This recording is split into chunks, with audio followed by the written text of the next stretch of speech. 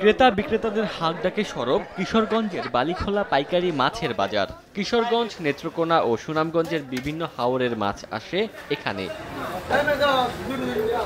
পাইকারি এই বাজারে পাওয়া যাচ্ছে রুই, কাতলা, বোয়াল আইর পাবদা ও চিংড়ি সহ নানা জাতের মাছ। তবে এখন হাওরে পানি বেশি থাকায় বড় মাছের সরবরাহ কিছুটা কম।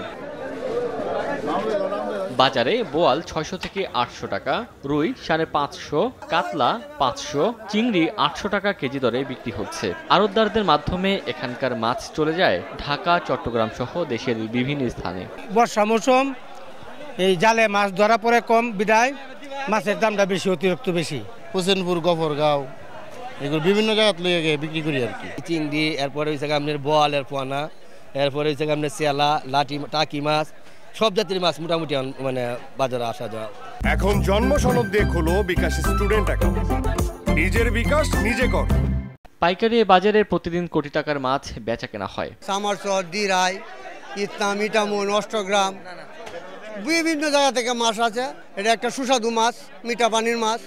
এটা অত্যন্ত ভালো। প্রায় দেড়শো বছরের পুরনো এই মাছের বাজারে প্রতিদিন ভোর ছটা থেকে সকাল দশটা পর্যন্ত চলে মাছ বেচা কেনা। সময় সংবাদ কিশোরগঞ্জ।